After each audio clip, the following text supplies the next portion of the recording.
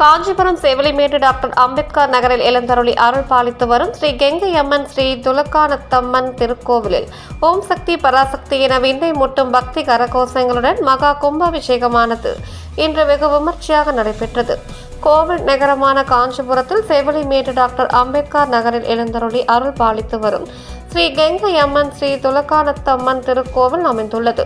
இக்கோவிலில் உள்ள ஸ்ரீ கெங்கை அம்மன் ஸ்ரீ துலக்கானத்தம்மன் விமானம் மற்றும் பரிவார தெய்வங்களுக்கு மகா கும்பாபிஷேகம் என்னும் திருக்குட நன்னீராட்டு பெருஞ்சாந்தி பெருவிழா இன்று வெகு விமர்சையாக நடைபெற்றது.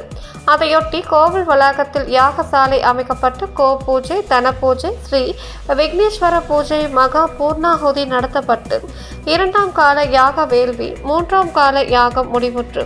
இன்றைய தினம் நான்காம் கால யாகமாக நவகிரக ஹோமம் மகா பூர்ணாகுதி நடத்தப்பட்டது.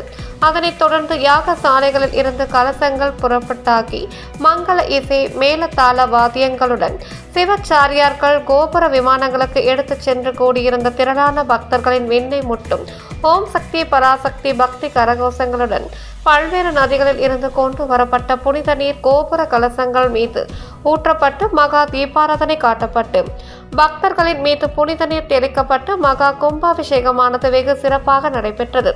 இதனை அடுத்து மூலவர் ஸ்ரீ கெங்கையம்மன் மற்றும் ஸ்ரீ துலகானத்தம்மனுக்கு சிறப்பு அபிஷேக தீபாராதனைகளும் நடைபெற்றதைத் தொடர்ந்து ஏராளமான பக்தர்கள் சாமி தரிசனம் செய்து வழிபட்டு சென்றனர்.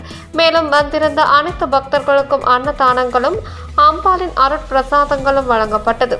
இந்த மகா கும்பாபிஷேகத்திற்கான அனைத்து ஏற்பாடுகளையும் விழா குழுவினர் மற்றும் ஊர் பொதுமக்கள் வெகு சிறப்பாக செய்திருந்தனர். சான்றோர் குரல் செய்திகளுக்காக செய்தியாளர் வெங்கடேசன்.